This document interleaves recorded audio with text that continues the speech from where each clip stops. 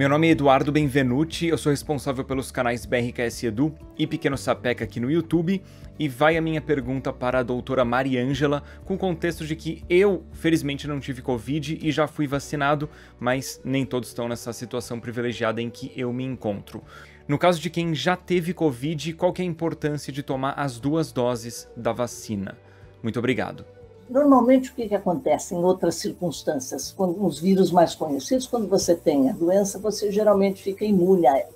A gente ainda não sabe como é que a imunidade funciona em relação à infecção pela Covid. Né? Se ela é uma imunidade duradoura, tem estudos mostrando, por exemplo, que os pacientes que tiveram doença mais grave, eles têm melhor imunidade, pacientes que tiveram doenças leves têm uma imunidade mais fraca, então se conhece muito pouco ainda. Então, a recomendação é que todo mundo que já teve Covid, passou a fase, já está recuperado, deve ser vacinado.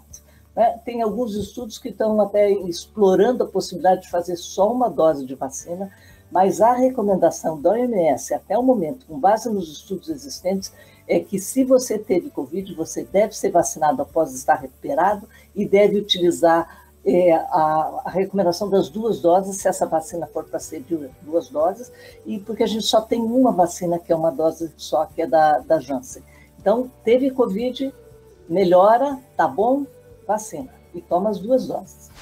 Muito obrigado pela resposta. Aproveito aqui para incentivar o pessoal que acompanhou a assistir outros vídeos que estão nessa playlist aqui também, falando a respeito de Covid, vacinas, boas práticas em função da pandemia e por aí vai. Tomem muito cuidado com informações falsas, tem muita fake news rolando por aí a respeito de Covid, vacinas e pandemia. Busquem fatos verdadeiros, baseados em estudos científicos comprovados. Obrigado.